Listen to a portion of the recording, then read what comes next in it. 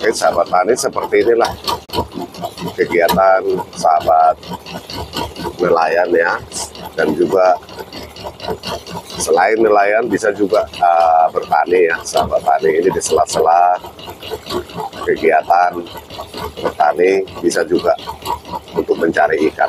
Seperti itu di pagi-pagi saya sengaja membuat video ini menunjukkan bahwa inilah aktivitas keseharian uh, masyarakat di daerah kami yang berada di daerah pesisir sahabat tani mudah-mudahan video ini dapat memberikan ulasan baru buat kita apalagi saudara-saudara yang jauh dari daerah pesisir ya bisa kita bayangkan ketika hidup di daerah pantai ada enaknya ada juga dukanya ya di saat pasang tinggi kadang-kadang semua bisa membawa trauma tersendiri lah ya.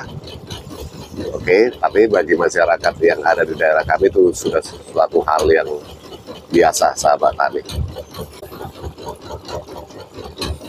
ini kapal-kapal yang belum berangkat ya. Mungkin sebentar lagi akan berangkat. Saya ingin menunjukkan kepada kita persiapan apa yang dilakukan ketika mau ke laut ya. Oke sahabat tani seperti ini ya. Ada sebagian uh, masyarakat di daerah kami yang pagi-pagi kadang malam mencari ikan ya. Pagi-pagi datang seperti ini membawa hasil ikannya. Langsung dilakukan transaksi ya.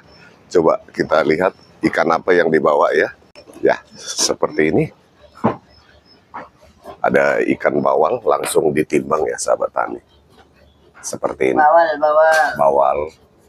Ini mahal ya. Ini bawal bendera. Bawal bendera. Bisa dikatakan jadi kalau ikan-ikan yang besar ini udah masuk ukuran ya. BB namanya ya. Iya. BB bawal besar. Oke, demikian.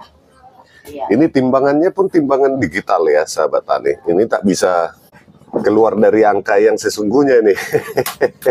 Oke, mudah-mudahan video ini dapat memberikan masukan baru, semangat baru buat kita semua, uh, sahabat nelayan dan juga sahabat tani di mana pun berada. Tetaplah semangat, tetap berkarya selagi kita semua masih diberikan kesehatan. Oke.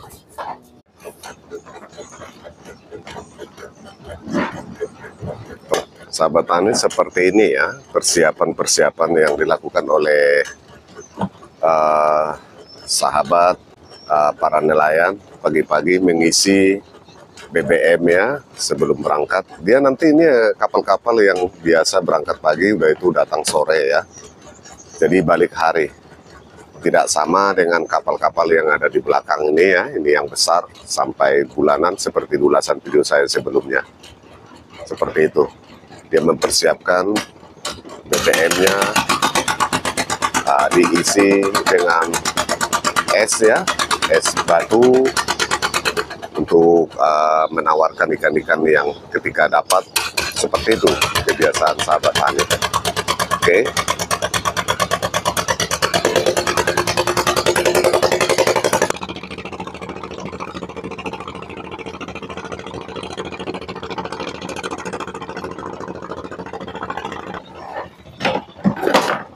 Oke sahabat tani seperti ini ya. Ada es ini khusus dibawa ya seperlunya ya untuk keperluan satu hari. Isi es batu ya. Seperti ini sahabat tani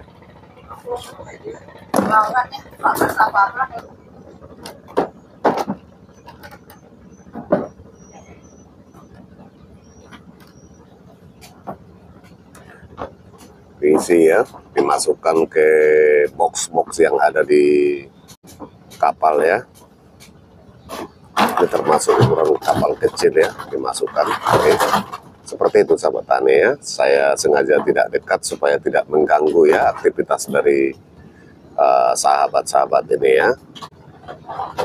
Inilah uh, sebagian dari cara uh, sahabat para nelayan di daerah saya untuk uh, melakukan aktivitas sebelum berangkat ke laut ya sahabat tani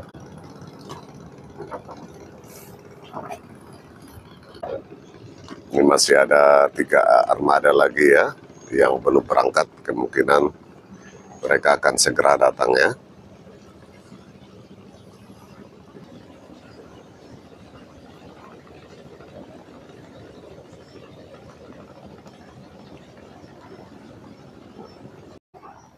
Oke, sahabat tani di mana pun berada, demikianlah ulasan yang saya buat tentang uh, kegiatan dan aktivitas uh, sahabat nelayan di daerah kami ya. Pagi-pagi ya, sekarang ini.